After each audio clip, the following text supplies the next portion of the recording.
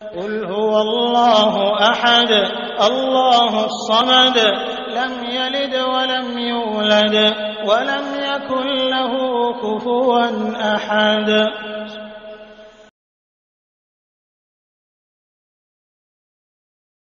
السلام على رسول الله.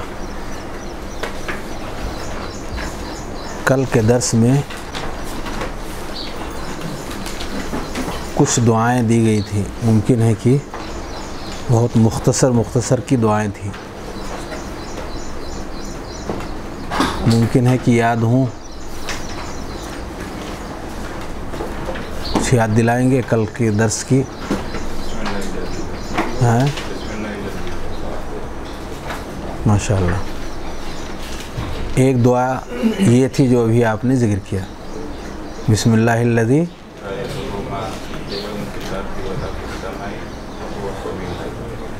بسم اللہ الذي لا يضر مع اسمه شيء في الارض ولا في السماء وهو السميع العليم اور کس کو یاد ہے؟ ماشاء اللہ ماشاء اللہ ایک سوال جو تھوڑا سا ممکن ہے، حرج والا ہو۔ اس دعا کو آج کس نے عملی جامہ پہنا ہے؟ ماشاء اللہ الحمدللہ۔ اس لیے کہ اس کی کچھ فضیلت ہے۔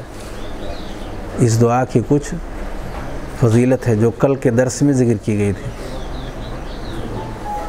کیا فضیلت ہے اس دعا کی؟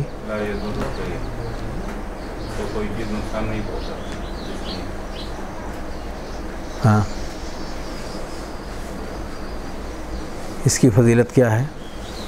شیخ بتا رہے ہیں اسے کوئی چیز نقصان نہیں پہنچائے گی۔ نقصان نہیں ہاں؟ کوئی زہر ایک روایت میں کوئی زہر نقصان بعض روایت میں ہے کہ اس کو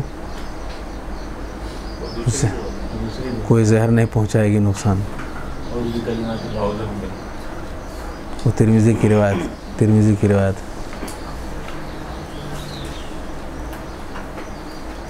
اس روایت کے حوالے سے بسم اللہ الذي لا يضر مع اسمه شيء في الارض ولا في السماء۔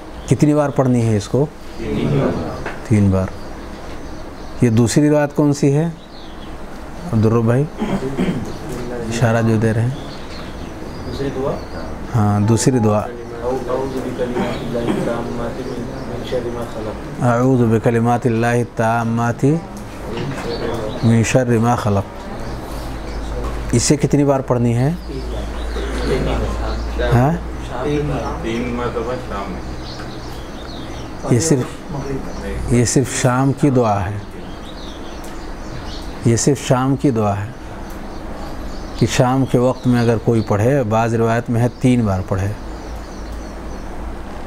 مسلم کی روایت میں ایسی کوئی قید نہیں ہے، لیکن ترمیزی کی روایت کے اندر یہ قید آیا ہوا کہ تین بار اگر کوئی شخص پڑھے تو اسے کوئی بھی چیز نقصان نہیں پہنچائے گی اور بعض روایت میں ہے کہ کوئی زہریلی چیز اس کے لیے نقصان دہ نہیں ہوگی۔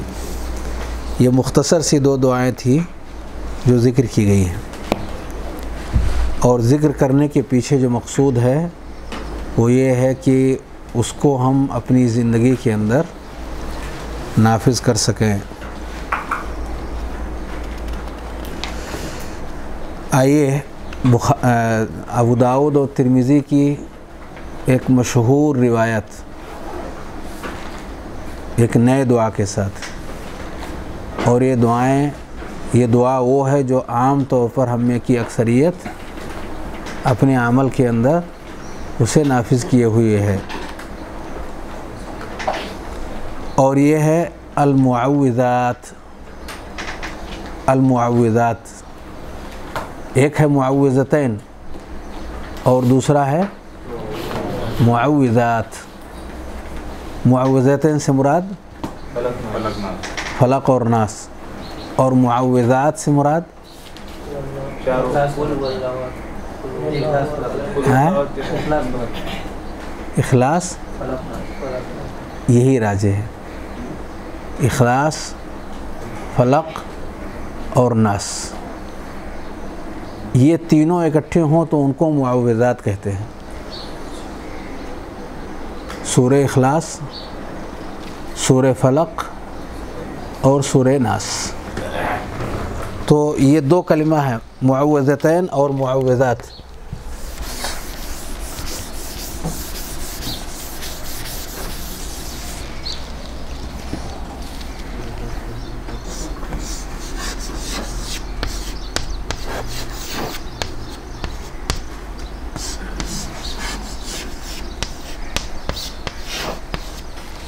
معوذتین اور معوذات۔ تو معوذات معوذتین میں الفلق اور الناس۔ معوذات میں ایک اور بڑھا لیں گے۔ الاخلاص۔ یہ تینوں اگر اکٹھی ہو گئیں تو اس کا نام ہو گیا معوذات۔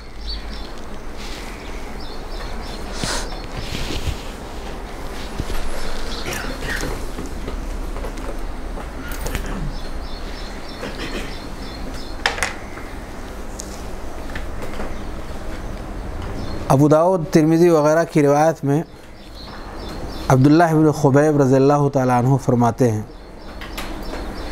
خرجنا فی لیلت مطر۔ بارش کا موسم تھا، رات کے وقت میں ہم نکلے۔ وظلمتن شدیدہ۔ اور سخت تاریکی تھی۔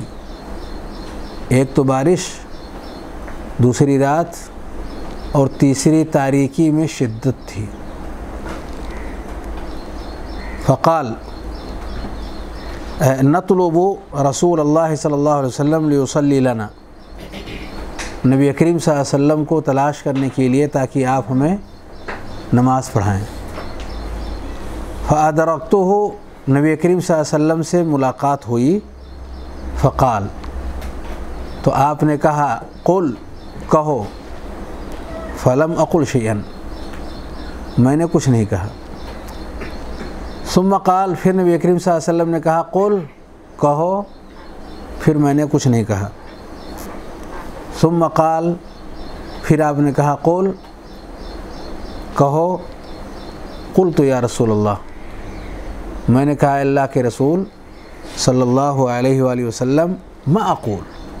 کیا کہوں؟ قال قل، آپ نے کہا کہو، قل هو اللہ احد والمعوذتین، حین تمسی وحین تصبح صبح میں اور شام میں۔ صبح میں کہو اور شام میں کہو۔ ثلاث مرات، تین بار تکفی کا من کل شعی تکفی کا من کل شعی ہر چیز سے تمہارے لیے کفایت کر جائے گی۔ تین بار صبح کہو، تین بار شام میں کہو، ہر چیز سے کفایت کر جائے گی۔ الحمدللہ، یہ صورتیں ایسی ہیں جو مسلمانوں کی اکثریت کو حفظ ہیں۔ سور اخلاص سور فلق اور سور ناس۔ ان تینوں کو اگر تین تین بار صبح و شام انہیں ہم پڑھ لیا کریں، تو رب ذوالجلال کی مکمل پناہ کے اندر آ جائیں، اللہ اس بندے کی کفایت کر دے۔ کفایت یعنی ہر اعتبار سے، اللہ رب العالمین ہر اعتبار سے ہر مشکل ہر پریشانی دیکھی اندیکھی اگر بندے نے اہتمام کیا، اس کی محافظت کی، تو اللہ رب العالمین ہر چیز سے اس کو کافی اور شافی ہوگا۔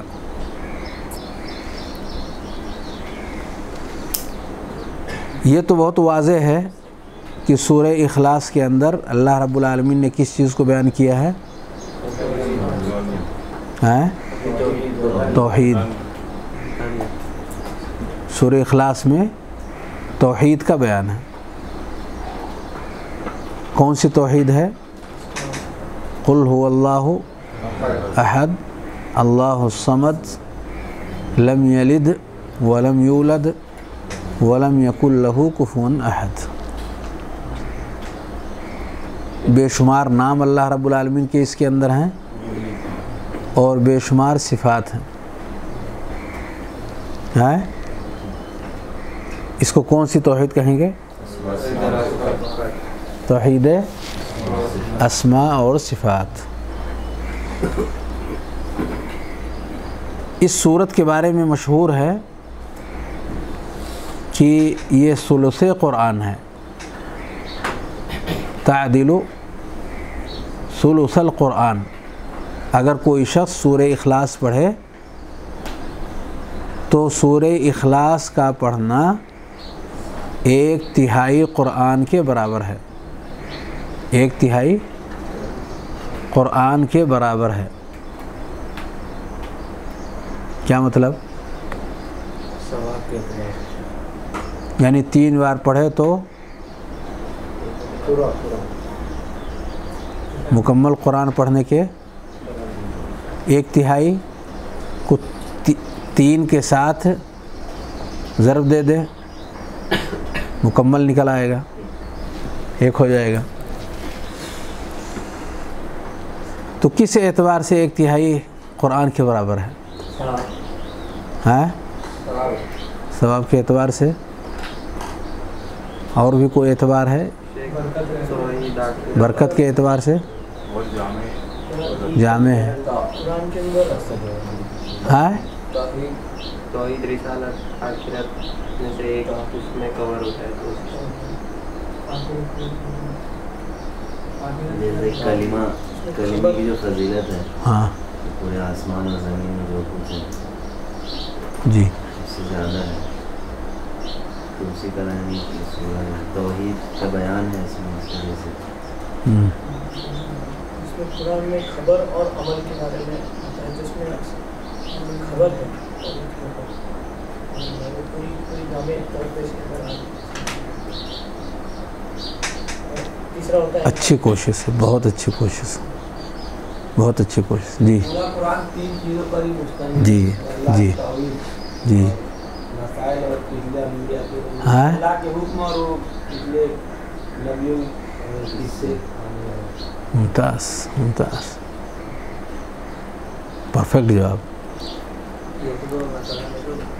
بڑے گناہ کیے تھے اس کی بھی اس میں نفی ہے۔ ہاں۔ کیا چیز؟ بڑے گناہ کیے تھے اللہ۔ جی۔ ایک تہائی قرآن کا مطلب ہے مضمون کے اعتبار سے۔ قرآن میں جو موضوعات ہیں اگر سرسری طور پر نگاہ ڈالی جائے قرآن مجید میں تو قرآن کے موضوعات کو تین حصوں میں تقسیم کیا جا سکتا ہے۔ جیسا کہ ابھی فیضان بھائی نے ذکر کیا۔ جو قرآن مجید کو تین اہم موضوعات میں تقسیم کیا جا سکتا ہے۔ نمبر ایک، پہلا موضوع، توحید۔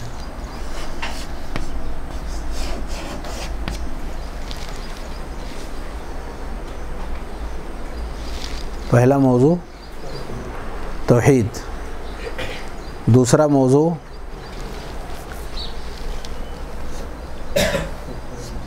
ہیں؟ قصص۔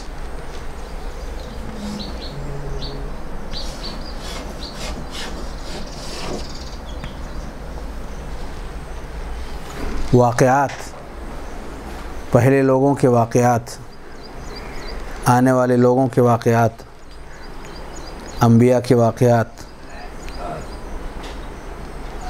تیسرا موضوع ہیں جی۔ احکام و مسائل۔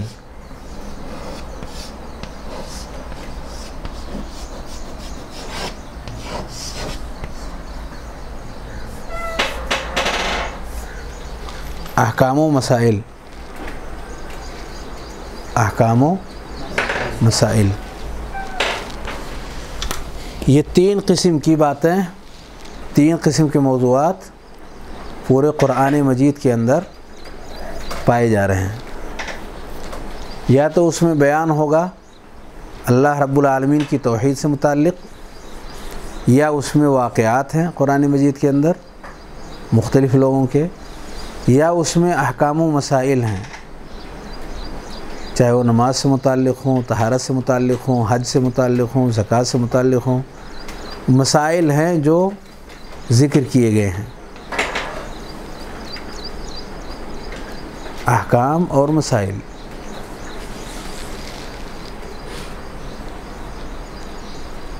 تو اب اگر دو کو چھوڑ دے، ایک کو لے لے، تو ایک تہائی ہوا یا نہیں؟ توحید کے تعلق سے سورہ اخلاص کے اندر سب سے جامع اگر کوئی صورت ہے جس میں توحید کا بھرپور بیان ہو تو سورہ اخلاص صورتوں میں سب سے جامع صورت، سب سے عظیم صورت جس میں توحید ہی کا بیان ہو، وہ سورہ اخلاص ہے۔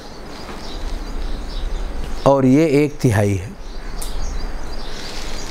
تو سورہ اخلاص ایک تہائی قرآن ہے، ایک تہائی قرآن کے برابر ہے یعنی اس کے تین اہم موضوعات میں سے، اس کے تین اہم موضوعات میں سے ایک موضوع ہے توحید توحید کا بیان، اور سورہ اخلاص میں اسی سے متعلق گفتگو اللہ رب العالمین نے فرمائی ہے۔ اس لیے یہ بات صحیح ہے کہ سورہ اخلاص ایک تہائی قرآن کے برابر ہے۔ مشہور تو وہی ہے جو آپ لوگوں میں کی اکثریت نے کہا ثواب کے اعتبار سے کہ سورہ اخلاص کے پڑھنے سے ایک تہائی قرآن پڑھنے کا ثواب ملے گا۔ لیکن یہ بات صحیح نہیں ہے۔ صحیح یہ ہے کہ ایک تہائی قرآن جیسے کہ بھی ذکر کیا علامہ تیمیہ رحمۃ اللہ علیہ نے اس بات کی صراحت کی ہے۔ تو یہ مختصر سی تین صورتیں ہیں۔ سورہ فلق اور سورہ ناس خاص طور سے اگر کسی شخص کو جادو ہے، نظر بد ہے یا اس طرح کی جو بھی مشکلات ہیں اور ان صورتوں کو پڑھ کر کے دم کیا جاتا ہے، تو اللہ رب العالمین کے فضل و کرم سے اس شخص کے لیے یہ نہایت ہی کارآمد اور نفع بخش صورتیں ہیں۔ معوضات اور معوضتین۔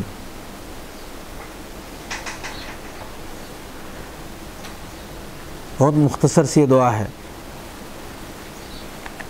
اس کے مفہوم کو تو اگر ہم دیکھنا چاہیں فلق کے اندر اور ناس کے اندر، تو مکمل طور پر ایک ایک چیز کا نام لے کر کے بندہ اللہ رب العالمین سے پناہ مانگتا ہے۔ قل اعوذ برب الفلق۔ فلق کا مطلب؟ ہے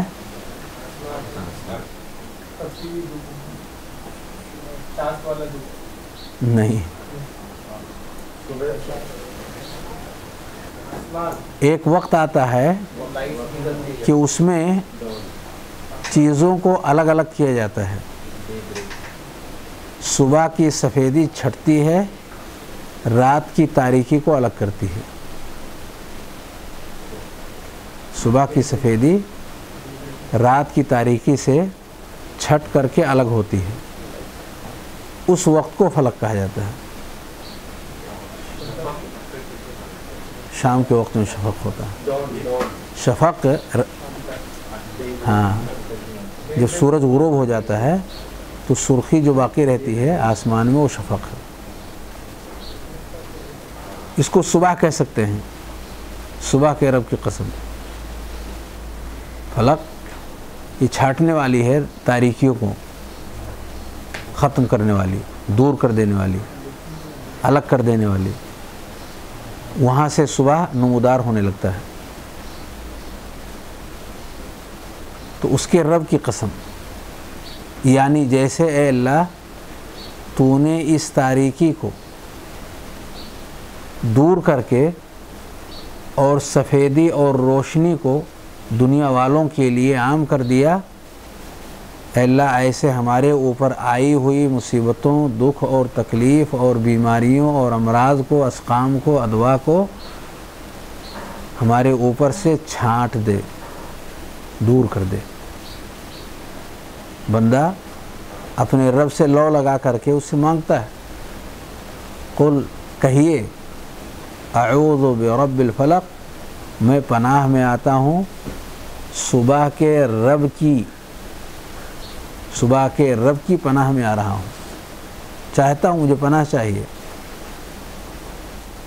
تو فلق کا، یہاں صبح بھی کہا جا سکتا تھا، لیکن فلق کہا گیا تاکہ وہ معنی سمجھ میں آئے، جو ابھی اشارہ دیا گیا، چھانٹنے کا، الگ کرنے کا، دور کرنے کا۔ دور کرنا جسے اللہ تو نے تاریکیوں کو دور کیا، ایسے ہمارے اوپر کی مصیبتوں، دکھ اور تکلیف اور ہر طرح کی بیماریوں کو دور فرما دے۔ من شر ما خلق۔ دیکھیے، بندہ اللہ رب العالمین سے دعا مانگتا ہے تو کہتا ہے، اللہ، جو بھی تیری مخلوق ہے، اس کی طرف سے کیا کیا پریشانی آ سکتی ہے، کیا دکھ آ سکتی ہے؟ مخلوق کے ہر طرح کے شر سے اے اللہ تو مجھے بچا لے ان شر ما خلق۔ اور آگے، یہ غاسق کیا ہے؟ ومن شر غاسق اذا وقب۔ ہاں جب تاریکی ہو جائے۔ جو بھی مصیبتیں آتی ہیں، جو بھی تکلیفیں آتی ہیں، عام طور پر تاریکی چھا جانے کے بعد۔ چاہے انسانوں میں سے کوئی کسی دوسرے انسان کو تکلیف پہنچانا چاہے، وہ بھی تاریکی ہی کو تلاش کرتا ہے۔ چوروں کی جماعتوں کو دیکھیں، وہ عام طور پر دن میں نہیں مارچ کرتے، رات میں چلتے ہیں۔ پورا گینگ بنا کر کے یہاں چوری کرنا، وہاں چوری کرنا، یہ جو لوگ کرتے ہیں وہ رات کی تاریکی میں۔ تو چاہے انسان میں سے ہوں یا جن ہوں یا ان کے علاوہ موزی جانور ہوں، ان سب کا چلنا اور پھرنا عام طور پر رات کے وقت میں زیادہ ہوتا ہے بنسبت صبح کی سفیدی کے۔ اسی لیے خاص طور سے اس وقت کا نام لیا گیا کہ تاریکی سے ومین شر غاسق اذا وقب، اے اذا دخل۔ جب وہ تاریکی چھا جائے، آ جائے، داخل ہو جائے، اور اسی لیے کہا گیا ہے کف و سویانکم۔ جب اندھیرا چھانے لگے، سورج غروب ہو جائے، تو کیا کرو؟ بچوں کو روک لو۔ گھروں کے اندر بچوں کو کر لو۔ اپنے دروازوں میں کڑی لگا دو، بچے باہر نہ جانے پائیں۔ کیوں؟ اس لیے کہ یہ وہ وقت ہے جب شیاطین بکھر جاتے ہیں۔ اور اس موقع پر وہ تکلیف بچوں کو پہنچاتے ہیں۔ اس لیے کہ بچے نہ سمجھ ہیں۔ اور کسی بھی کوئی بھی چیز ان کے لیے تکلیف دہ ہوتی ہے۔ تو گویا کی تاریکی سے بندہ پناہ مانگتا ہے۔ نہ سمجھ بچے عام طور پر سات سال کے بھی، دس سال کے بھی، اس سے کم کے بھی یہ سارے کے سارے بچے اس کے اندر داخل ہوں گے۔ تو تاریکی کا یہاں خصوصیت کے ساتھ اللہ رب العالمین نے ذکر کیوں کیا؟ حالانکہ کسی بھی وقت تکلیف آ سکتی ہے۔ اس لیے کہ عام طور پر تکلیف پہنچانے والے لوگ تاریکی ہی کا فائدہ اٹھاتے ہیں اور اس تاریکی میں ایک دوسرے کے اوپر حملے کرنے کی کوششیں کرتے ہیں۔ اس کے آگے کیا ہے؟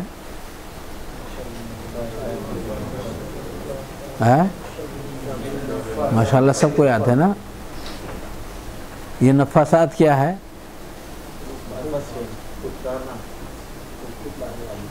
پھونک مارنے والے۔ نفاسات نفاسات آپ دیکھیں تو یہ مؤنس کا سگا ہے، مذکر کا نہیں۔ نفاس سات الف اور تا آخر میں لگا ہوا ہے۔ نفاستن کی جمع نفاسات نفسا انفسوں سے ہے۔ نفسا انفسوں پھونکنا اور عقد۔ ہاں عقدتن کی جمع ہے۔ عقدتن۔ عقدہ یا عقدوں کے معنی ہوتے ہیں باندھنا۔ گانٹھ لگانا۔ گانٹھ سمجھتے ہیں۔ گانٹھ لگانا۔ یعنی وہ پڑھ پڑھ کر کے پھونک رہے ہیں اور گانٹھ لگا رہے ہیں۔ پھونک رہے ہیں اور گانٹھ لگا رہے ہیں۔ پھونک رہے ہیں اور گانٹھ لگا رہے ہیں۔ یہ کون لوگ کرتے ہیں؟ جادوگر۔ پھونک رہے ہیں گانٹھ لگا رہے ہیں۔ پھونک رہے ہیں گانٹھ لگا رہے ہیں۔ وہ من شر النفاثات فی العقد۔ جو پھونکنے والے ہیں اور گانٹھ اور گرہیں لگانے والے ہیں۔ تو ان کے شر سے پناہ چاہتا ہوں۔ تو یہاں مونس کا سیگا کیوں استعمال کیا گیا؟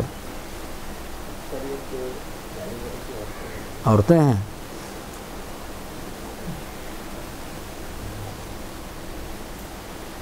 ایسا تو نہیں لگتا۔ یہاں کچھ محضوف ہے۔ نفوس۔ نفوس۔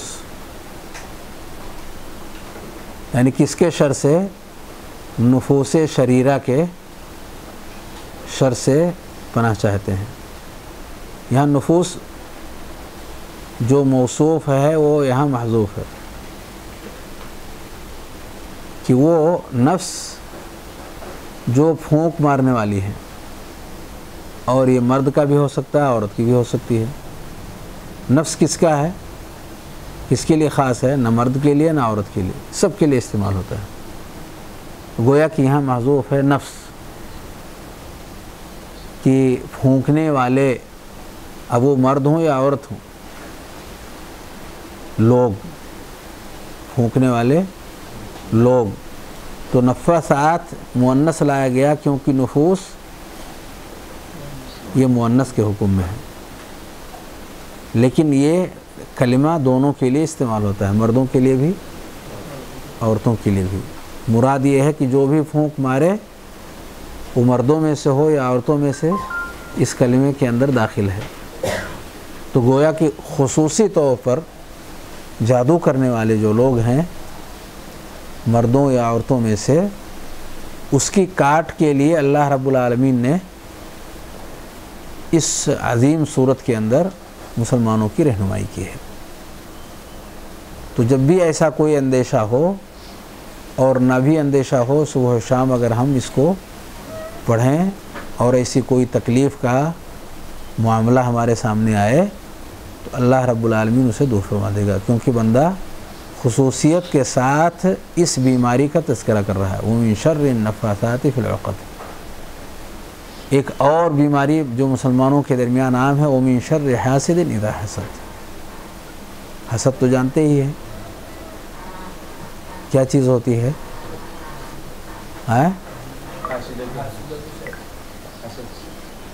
حسد کا مطلب ہے حاسدوں کے شر سے۔ ہاں۔ بتائیے۔ ہاں۔ حسد کا مطلب؟ حسد مانے کینا۔ جلن جلن ایک آدمی۔ ہاں کیا بتا رہے ہیں آپ؟ کوئی چیز میرے بھائی کے پاس ہے میں یہ تو جو چھین جائے اور سے۔ وہ چیز اسے برباد ہوئی۔ جلنا جل جلن مجھے مل جائے اور اس کی بربادی ہوئی۔ یعنی اگر کسی کے دل میں بخار ہو ہوتی نہیں ہے۔ جل رہا ہے آدمی تپ رہا ہے۔ تو اس سے ہم پناہ مانگ رہے ہیں کہ اللہ تو ہمارے دل کی جلن کو دور کر دے۔ یہی۔ ہاں۔ ہاں۔ مجھے مل جائے اسے چھین جائے۔ مجھے ملے نہ ملے اسے چھین ضرور جائے۔ سر۔ اچھا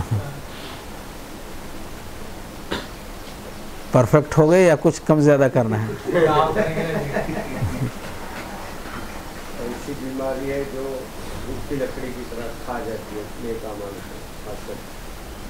جی۔, جی جی۔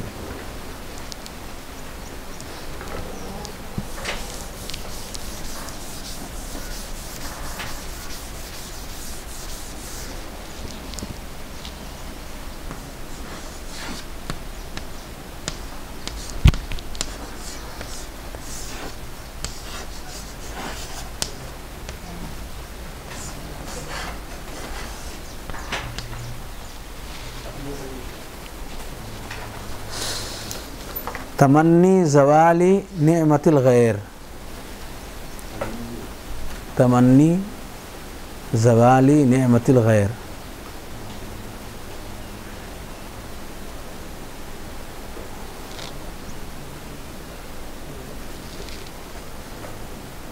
یعنی کسی بھی انسان کے اوپر آئی ہوئی نعمت کے دور ہو جانے، ختم ہو جانے کی تمنا کرنا۔ یعنی چاہت انسان کے دل میں پیدا ہو کہ اللہ نے اس کو کتنی اچھی تندرستی دے رکھی ہے، وہ بیمار ہو جاتا تو کتنا اچھا تھا۔ مال و دولت اللہ رب العالمین نے کسی کو دے رکھی ہے، وہ فقیر اور قلاش ہو جاتا تو کتنا اچھا تھا۔ کسی کو اللہ نے علم کی دولت سے نوازا ہوا ہے، وہ علم اس اس سے چھن جاتا تو کتنا بہتر تھا۔ وغیرہ وغیرہ، بہت ساری نعمتیں ہیں جو انسان کو اللہ رب العالمین نے دے رکھی ہے تو اس کے دل کے اندر کی جو تمنا ہے، چاہت ہے، وہ چاہت اس نعمت کے چھن جانے سے ہے۔ وہ نعمت اس بندے سے چھن جائے، اس کی چاہت اگر کسی کے دل کے اندر ہے تو اس کا نام ہے عربی زبان میں حسد۔ عربی میں اس کو حسد کہتے ہیں۔ تو کسی کے اوپر آئی ہوئی نعمت، وہ نعمت جسم سے متعلق ہو یا روح سے متعلق ہو، ظاہری ہو یا معنوی ہو، کسی بھی طرح کی نعمت ہو، اس کے چھن جانے سے، چھن جانے کی تمنا اور آرزو اور چاہت۔ اس کا نام ہے حسد۔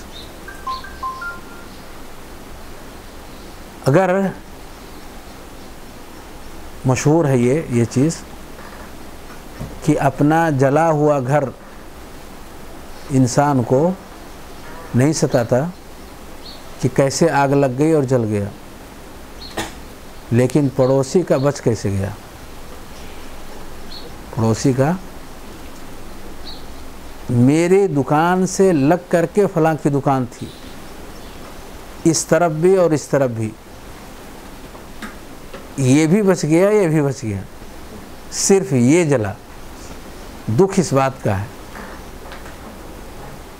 دکھ اگر اس کے ساتھ میں اور لوگوں کا بھی جل جاتا تو تسلی کی بات تھی۔ یہ ایک سوچ ہے جو ہمارے ذہن و دماغ کے اندر پیدا ہوتا رہتا ہے۔ اس طرح کی سوچ اگر آ رہی ہے تو سمجھے کہ یہ حسد ہے، جس کی آگ میں ایک بار اور ہم جل رہے ہیں۔ یہ نہیں آنی چاہیے۔ یہ چیز انسان کو تباہ کر دیتی ہے۔ حسد۔ بہت ساری بیماریوں کی یہ جڑ ہے۔ جب دیکھتا ہے وہ نعمت نہیں چھن نہیں ہے، تو اس کے لیے بڑی کوششیں کرتا ہے۔ کہ کیسے بھی کر کے وہ چھینیں اور ضرورت پڑتی ہے تو اس آدمی کے زندگی کے ساتھ بھی وہ کھیل کھیل جاتا ہے، تاکہ اس کا صفایا کر دیا جائے، کیونکہ اس سے دیکھ کر رہا نہیں جاتا۔ اس میں اگر کچھ چیزیں ملا لیں تو جائز ہو جاتی ہے۔ کیا چیز ملائیں گے؟ کچھ تھوڑا کم زیادہ ملا لیں تو؟ جی۔ یہ زوال کی صفت کو ہٹا دیں۔ زوال کی صفت کو ہٹا دیں۔ تمنا کریں وہ نعمت جو دوسروں کو ملی ہوئی ہے ہم کو بھی مل جائے۔ وہ نعمت جو کسی اور بھائی کو ملی ہوئی ہے اس سے دور نہ ہو۔ اس کی تمنا نہ آئے دل میں۔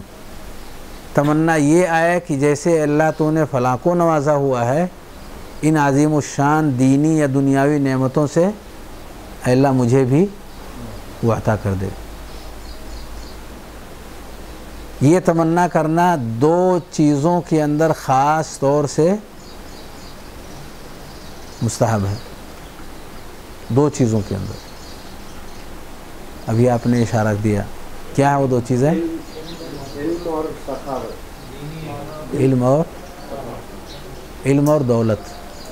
ہے علم اور دولت۔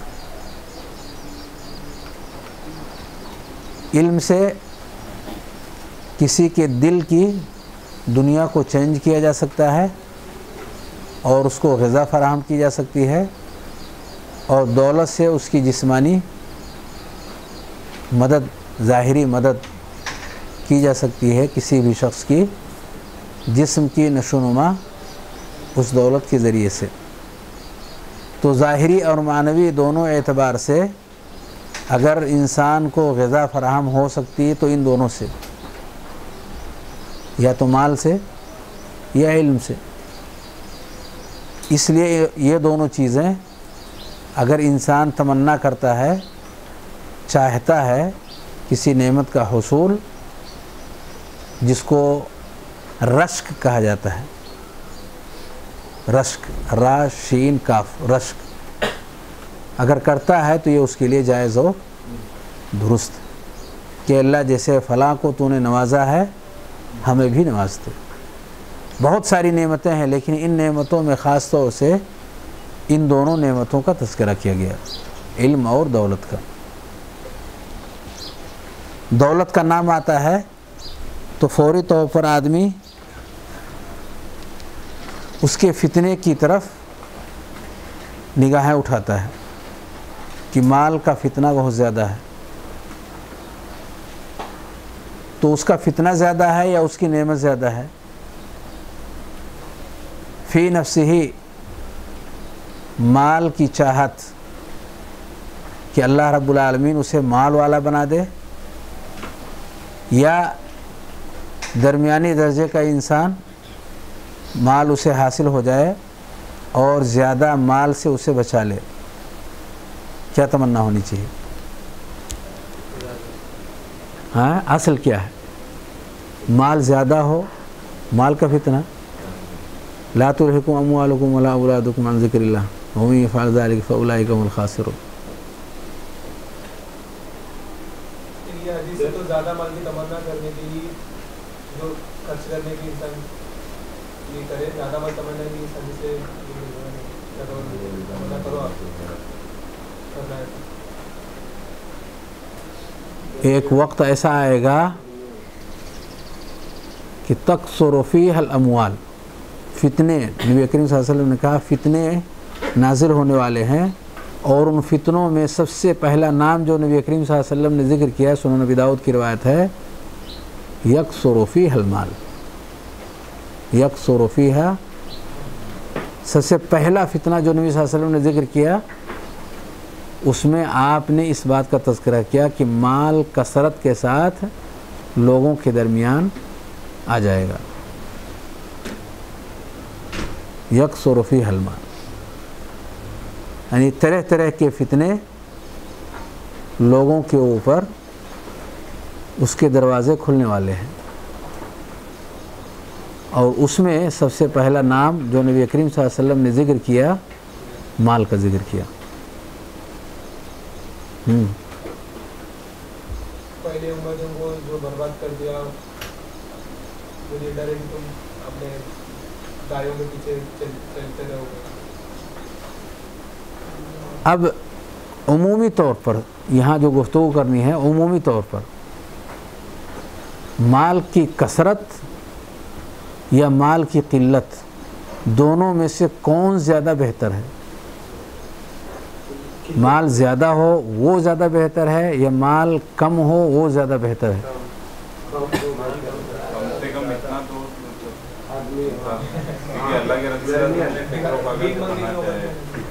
اور یہ بولے کہ یہ خوبصورت تک بھی لیتی ہے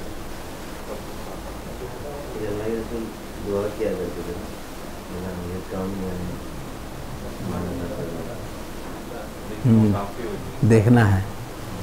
اللہ کم التکاثر حتیٰ زرتم المقابر۔ کلّہ صوفت علمون ثم کلّہ صوفت علمون اب آپ فیصلہ کریں دونوں میں سے بہتر کون سا ہے؟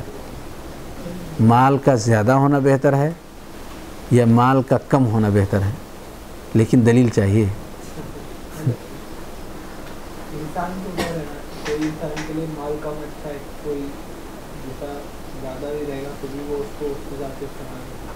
اچھا اصل کیا ہے؟ اصل۔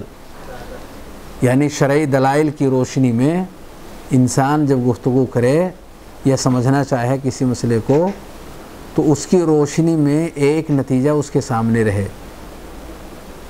فلاں چیز کم ہو یہ بہتر ہے فلاں چیز زیادہ ہو یہ بہتر ہے فلاں چیز ایسی ہو تو انسان کے لیے مفید ہے۔ مال کے تعلق سے کیا ہے؟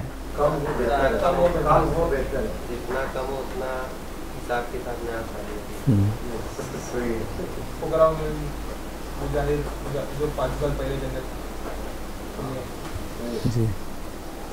جو لوگ باہر زیادہ خرچہ کرتے ہیں جو لوگ سب تک نہیں ہیں۔ جی۔ جیسے آپ کے رحمان جی۔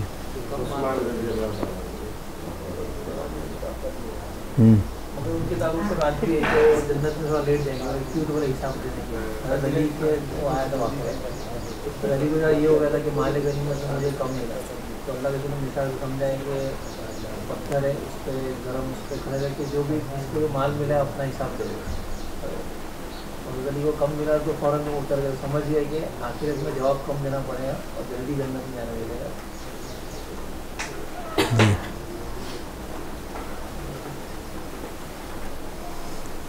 دیکھیے، مال فی نفس ہی اس کے تعلق سے جو ضابطہ ہے، شرعی اعتبار سے جو ضابطہ ہے، نبی کریم صلی اللہ علیہ وسلم نے خود ذکر کر دیا ہے۔ پیارے نبی صلی اللہ علیہ وسلم نے فرمایا، غالباً ابو داود کی روایت ہے، نعم المال الصالح للرجل الصالح۔ نعم المال الصالح للرجل الصالح۔ اگر آدمی صالح ہے، تو مال یہ اس کے لیے نعمت ہے۔ اگر صالح ہے صلاح کے راستے پر قائم ہے اور اسی پر مال کو بھی قائم رکھنا چاہتا ہے۔ ظاہر سی بات ہے، صالح ہے۔ تو اچھا مال، پاکیزہ مال، صاف ستھرا مال، حلال مال اس کے لیے بہتر ہے۔ نبی صلی اللہ علیہ وسلم نے کہا، نعمہ نعم المال الصالح۔ یہ ضابطہ نبی کریم صلی اللہ علیہ وسلم نے ذکر کیا۔ نعم المال الصالح للرجل الصالح۔ فتنہ ہے، لیکن اگر انسان صلاح پر قائم ہو، نیکی پر قائم ہو، تو وہ اس کی کامیابی کا ذریعہ اور سبب ہے۔ ایک بات۔ دوسرے قرآن نے، قرآن مجید نے مال کو جو حیثیت دی ہے، وہ ہم نگاہوں میں رکھیں۔ سورہ نساء کے پہلے صفحے میں اللہ رب العالمین نے ذکر کیا۔ ہاں۔ ولا تؤتوا السفهاء اموالكم التي جعل الله لكم قياما۔ جعل الله لكم قياما۔ صفحاء کو اپنا مال نہ دو۔ ولا تؤتوا السفهاء اموالكم تم اپنا مال سفیہوں کو نہ دو۔ سفیہ کہتے ہیں کم عقل۔ کم عقل۔ یہ کم عقل کیا ہوتا ہے؟ عقل اور سمجھ کے اعتبار سے اگر کوئی انسان ایسا ہے کہ اس کا صحیح استعمال نہیں کرتا۔ عقل تو اللہ نے دی ہوئی ہر ایک کو۔ ایک ہے، اس کا بھرپور استعمال کرتا ہے۔ جس کام کے لیے اللہ نے دیا تھا عقل، اس کام میں بھرپور طریقے سے اس کا صحیح استعمال کیا۔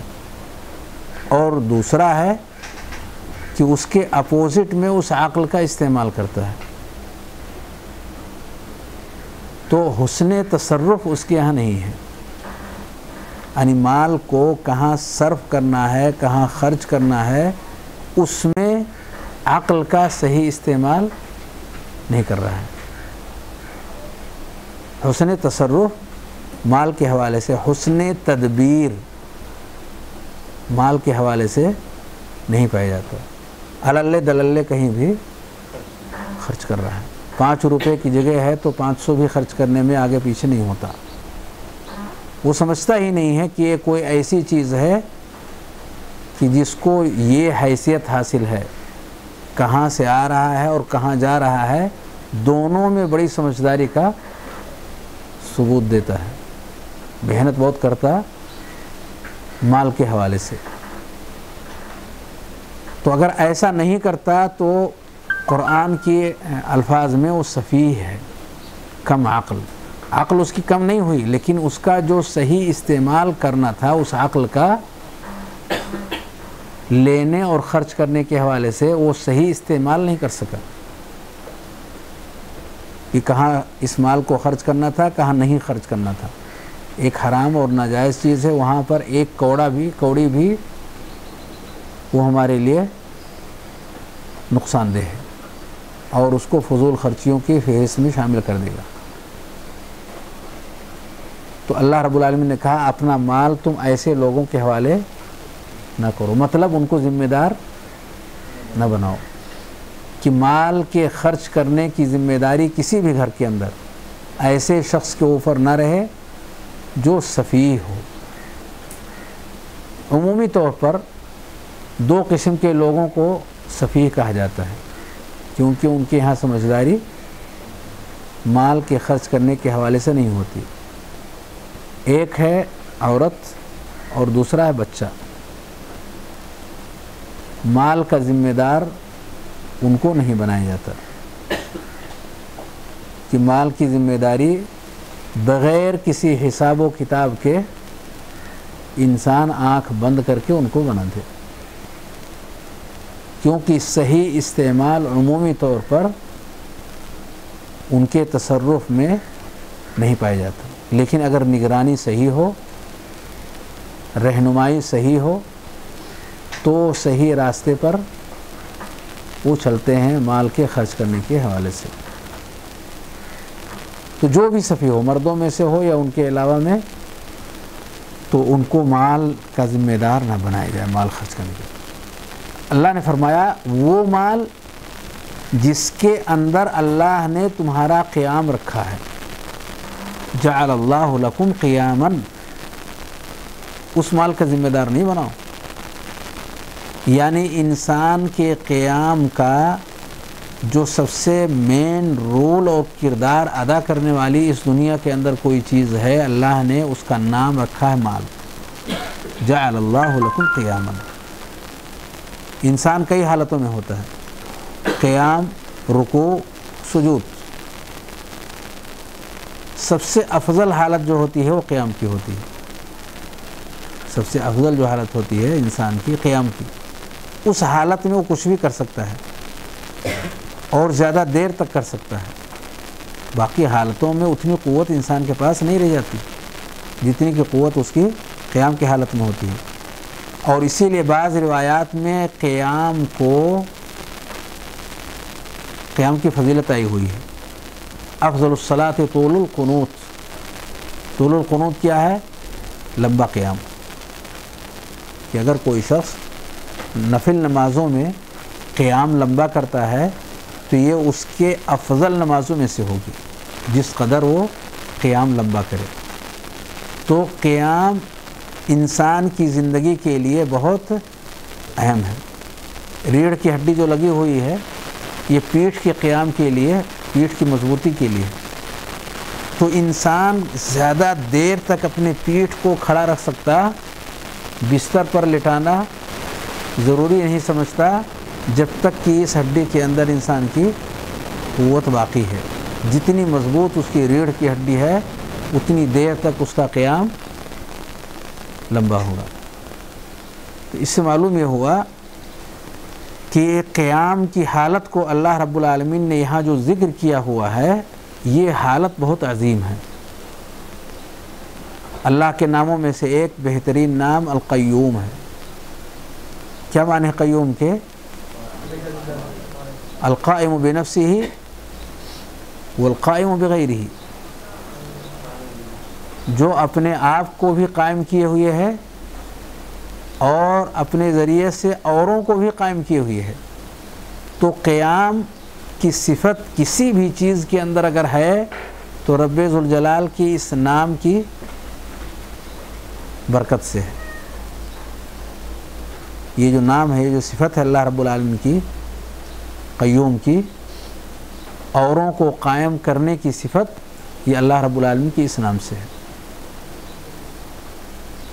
تو ہمارے اندر جو قیام ہے، ہم چلنے پھرنے کے لائق ہیں اور کچھ کرنے کے لائق ہیں۔ دراصل اللہ رب العالمین نے ریڑھ کی ہڈی کی حیثیت دی ہوئی ہے اس میں مال کو۔ تو آپ اسے شریعت کے اندر مال کی جو اہمیت ہے اس کو سمجھ سکتے ہیں۔ کہ مال کی اہمیت شریعت کی نگاہ میں ایسے ہے جیسے کہ ایک انسان پڑا ہو، دوسرا کھڑا ہو۔ ہاں؟ دونوں ایک جیسے نہیں ہیں۔ ایسے ہی مال کے ساتھ اور بغیر مال کے وہ آدمی ہے۔ اگر مال کا صحیح تصرف اور مال کے اندر حسن تدبیر کی صفت پائی جا رہی ہو۔ اس شرط کے ساتھ جیسا کہ نبی صلی اللہ علیہ وسلم نے ذکر فرمایا۔ تو اصل مال کے اندر یہ ہے جو شریعت اسلامیہ کہتی ہے کہ مال دراصل روح ہے۔ اس سماج کے لیے، اس سوسائٹی کے لیے، اس گھر کے لیے، اس شخص کے لیے اور اس کے قیام کے لیے بہت بنیادی رول ادا کرتا ہے دینی اور دنیاوی دونوں اعتبار سے۔ لیکن شرط اس کے اندر ہے حسن تدبیر اور حسن تصرف، تاکہ وہ صالح ہو اور صالحیت سے کی صفت اس کے اوپر سے نہ جانے پائے۔ تو پھر وہ فتنہ نہیں ہے، بلکہ وہ مکمل نعمت ہے۔ اور اس سے ہٹ کر کے وہ فتنہ ہی فتنہ ہے۔ دودھاری تلوار ہے مال۔ مال دودھاری تلوار۔ اگر اس کا صحیح استعمال اور صحیح تصرف ہو تو نعمت عظیمہ ہے اور اس سے ہٹ کر کے وہ ہمارے لیے فتنہ اور آزمائش ہے۔